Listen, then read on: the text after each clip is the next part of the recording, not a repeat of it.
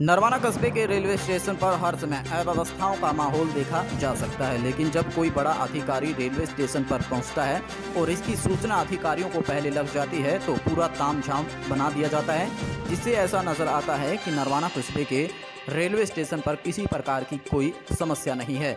यहाँ आने वाला हर यात्री खुशहाल है, लेकिन सोमवार को जैसे ही रेलवे विभाग की एक टीम निरीक्षण करने नरवाना कस्बे के रेलवे स्टेशन पर पहुँची तो यहाँ के अधिकारियों में भगदड़ मच गई, क्योंकि सभी अव्यवस्थाएँ साफ़ तौर पर नज़र आ रही थी। इस दौरान अधिकारियों को फटकार भी इस टीम द्वारा लगाई गई और बताया गया कि किस प्रकार की सुविधाएँ सरकार व रेलवे देना चाहता है, लेकिन यहाँ के अधिकारी उनको लेकर गंभीरता नहीं दिखाते, जिसके चलते लगातार नरवाना कस्बे के रेलवे स्टेशन पर समस्याएँ बढ़ती जा रही हैं। इस दौरान बहुत सारी समस्याओं पर बात हुई और निरीक्षण करने पहुँची टीम ने कहा कि जल्द सभी व्यवस्थाएँ दुरुस्त करवाई जाएँगी।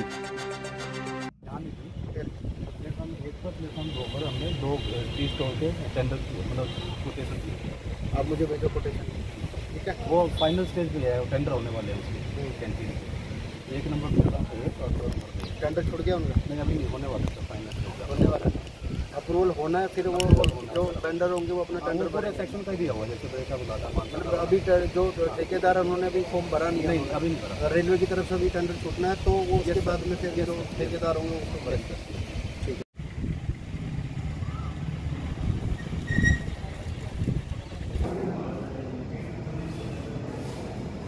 स्टाफ की शॉर्टेज है इसलिए इंक्वायरी का आपके पास में कोई भी स्टाफ नहीं है। वो जो बुकिंग स्टाफ है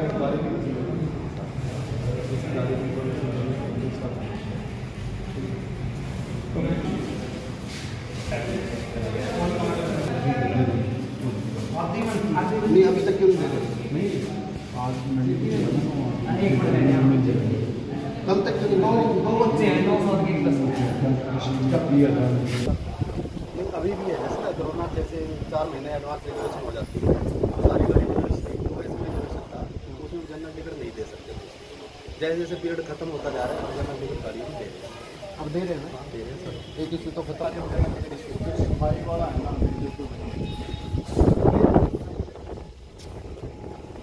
हज़ार इक्कीस की उस टाइम पे भी सफ़ाई का मुद्दा था आज भी वही मुद्दा है। एफर्ट्स मतलब स्टाफ नहीं है तो स्टाफ रखो ना उसमें दिक्कत क्या है? अगर स्वीपर नहीं है तो रखो आप रखना चाहिए आपको स्वीपर नहीं स्वीपर तो है सर जितना इंटरेस्ट है। कितना कर रहे हैं क्या कर रहे हैं। सर हमारी तरफ़ से तो बिल्कुल फिट है। कहाँ फिट है। आओ आप दिखाते हो बताइए आप। एक मिनट। गाड़ी से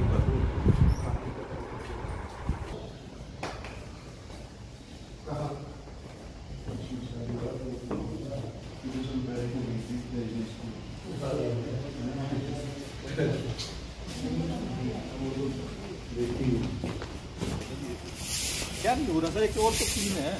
क्या क्लीन नहीं है? उन्होंने आगे करके ढाले थे।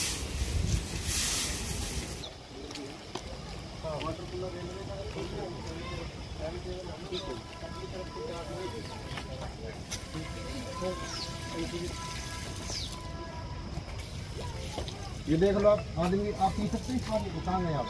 आप यहीं पीते हो पानी? आप यहाँ पीते हैं पानी? अब बताओ मतलब यहाँ पानी पीना पसंद करेंगे? वैसे ही पूछ रहा हूँ। पीना पसंद करेंगे आप यहाँ पे जगह पे? इसको थोड़ी देर चला के देखेंगे क्योंकि यूज़ नहीं होगा शायद गर्म हो नहीं नहीं, दिक्कत नहीं। नहीं दिक्कत नहीं होगा सफ़ाई की बात कर रहे हैं आप पानी वही तो पियोगे जहाँ से अभी बीस दिन हो गए मैं सब कुछ करवा दूँगा जी बिल्कुल हंड्रेड परसेंट हो गया और पहले से आपने बदलाव देख लीजिए होगा जो पहले आपने देखा होगा नहीं मैं तो खुद कह रहा हूँ बताओ आप इसमें अगर आप पानी पी नहीं, यहाँ एक्सप्रेस ट्रेनें रुकती है। हाँ जी यात्री कहाँ पानी पिएगा तो मैं फिर चेक करूँगा क्या क्या खामियाँ मिली और उसके लिए आप क्या करवाएँगे खामियाँ सफ़ाई की है सफ़ाई में एक संजीव जी हैं अपना ये इनको आगे के बता दिया है निर्देश दे दिए आगे ये ध्यान रखेंगे। और कुछ ये दीवारें हैं नरवाना की ये टूटी गई टूटी हुई हैं। इनका बाउंड्री जो है और इनका एस्टीमेट गया हुआ है बनने के लिए ये जल्दी आपकी हो जाएँगी। और सफ़ाई का मेन है एक बाल टॉयलेट का है उसका कुछ एस्टीमेट आप बता टेंडर हो। चुका है। है ना? तो वो भी हो जाएगी महीने हो जाएगा। जैसे पानी की मूल सुविधा है पानी पीने का पानी की मूल सुविधा है कैंटीन यहाँ वगैरह की। हाँ कैंटीन के लिए टेंडर के लिए भी अभी कोई नहीं गया कोई टेंडर प्रोसेस में प्रोसेस में है कैंटीन की सुविधा भी उपलब्ध कराएँगे।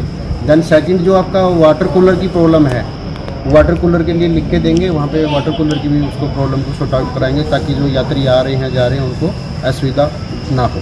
सर आपका नाम और डेजिनेशन मेरा नाम कृष्ण कुमार है Z R U C C member north northern railway thank you ठीक है आगे ये सब दे दिए हैं निर्देश इनको ये ध्यान रखेंगे सब चीज़ों का और मैं समय समय पर निरीक्षण करता हूँ। Thank you sir